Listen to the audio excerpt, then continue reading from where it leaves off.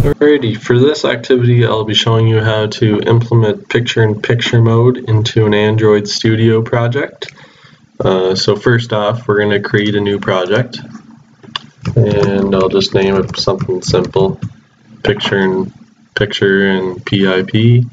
So next, and for the API I'm going to choose API 26 this isn't necessary, but it's just going to make it a little bit easier throughout the program because if you don't choose API 26, you're going to have to later on uh, bump up your minimum SDK in your uh, app Gradle.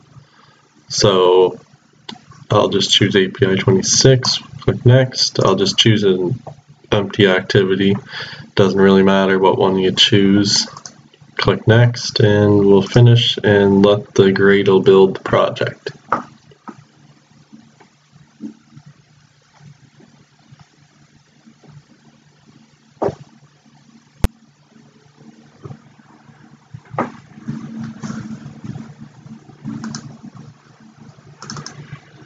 So like I said, uh, if you don't choose the API 26, you can change your minimum SDK right here later on in your project. It'll tell you if it doesn't like it.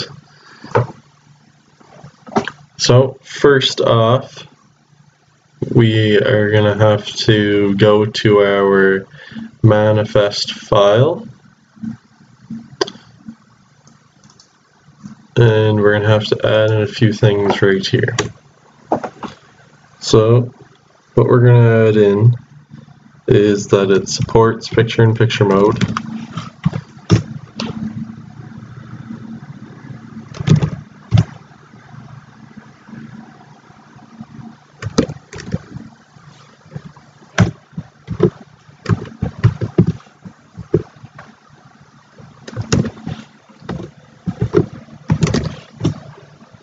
And we're going to add in our configuration changes right here.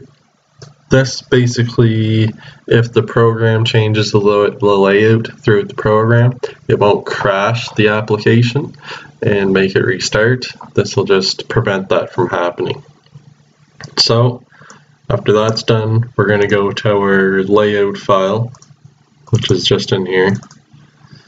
And for this activity, I'm going to change it to a relative layout.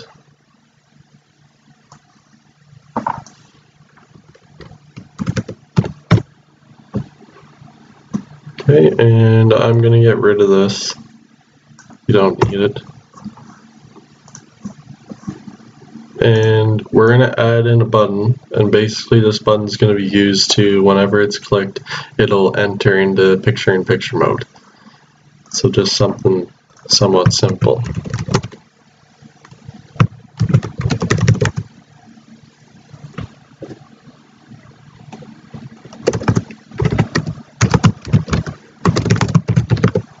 Okay, and we're going to change the background color. Give it a little bit more life. Uh, just like that. See, it looks a little bit nicer now. Okay, so as you can see in our layout, whenever this is clicked, it will enter into picture-in-picture -picture mode.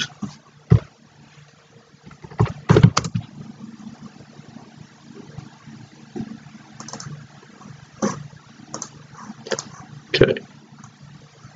So first off, we're gonna have to create our on on click for our button. So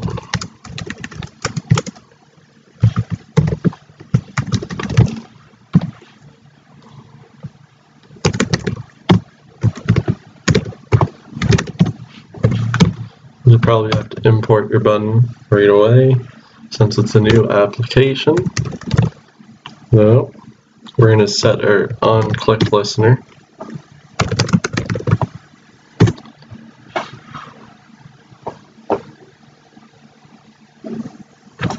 We'll implement our method and now we're in our on click so whenever the button's clicked it's going to go in here So next off, we're gonna have to find the display size of the screen, and basically this is just gonna help find the X and Y coordinates of the screen.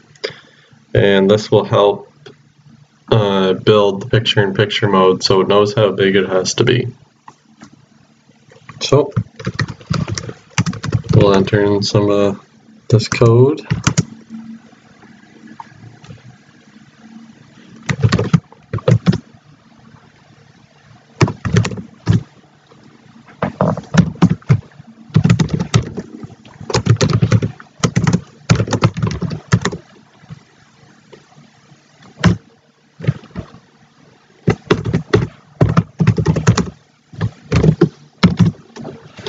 And you're probably going to have to import these classes here.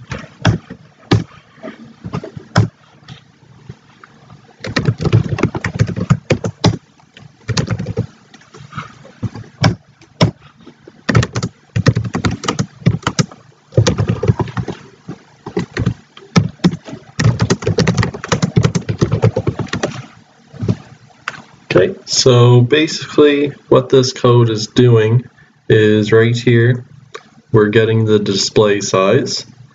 And then right here this is going to get the x and y coordinates.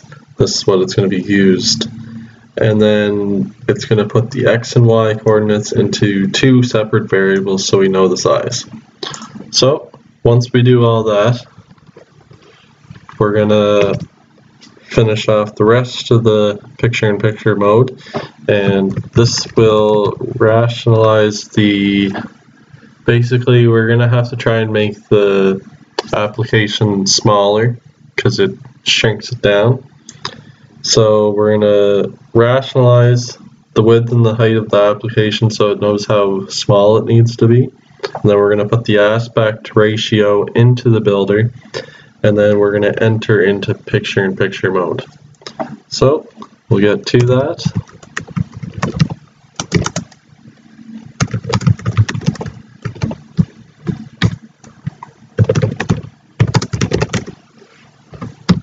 So we're getting the ra the rational and we're putting the width and the height in there. So it's just gonna it's basically making a fraction of how big it has to be.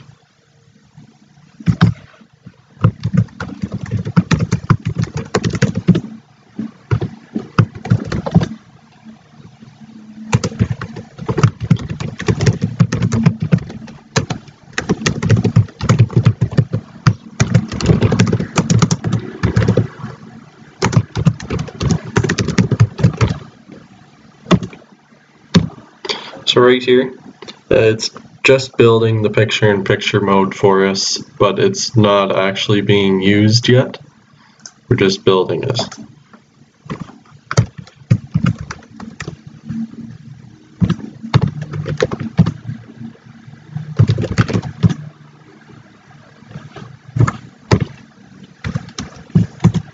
So right here, we're putting the aspect into the builder so it knows how big it has to be. And now we're going to be entering into picture-in-picture -picture mode.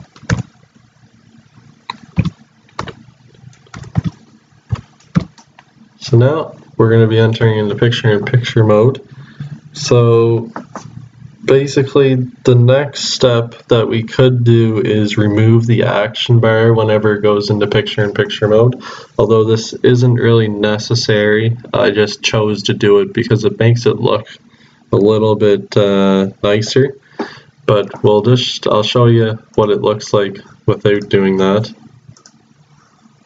And as well, uh, the device that you're using, it has to be API 26 this is just the minimum requirement for it to build this. So click OK. See what it looks like.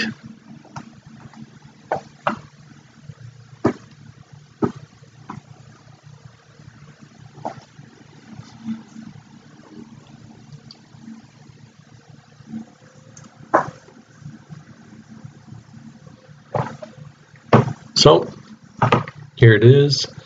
Um, nothing fancy, but whenever we click on this button here, it's going to enter into picture-in-picture mode. So let's click it, and there we go. That's what it looks like. Like said, nothing fancy, but it does the job. So, uh, right here, you can see the action bar here. It kind of covers oh, a good quarter of the screen, but we can get rid of it. So outside of our on create, we're going to put in a new method on basically if the picture in picture mode changes it's going to do this if statement which will tell whether to hide or show the action bar. So just like that we're going to put in our if statement. If it's in picture in picture mode we're going to do the action bar and we're going to hide it. But if it's not, then we're going to show it. Okay, and since obviously that's not liking that right now because we didn't put in our action bar at the start anyways. Okay, and we're going to have to import import it just like that. Well, we got to put this in here.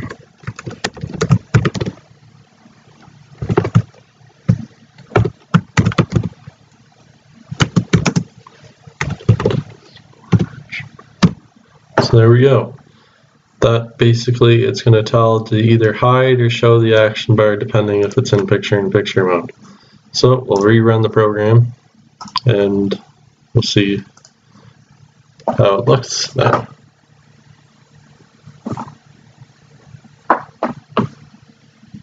Okay, so now we see that it's in picture, it's not in picture-in-picture -picture mode right now, and we can see the action bar, but whenever we enter picture-in-picture -picture mode, it gets rid of that action bar and it makes the screen a little bit nicer to look at. It's a bigger image, and we can click on it again, and then it goes back with the action bar to full screen. So there we go, that's how you build and implement a picture-in-picture -picture mode on an Android device. And thanks.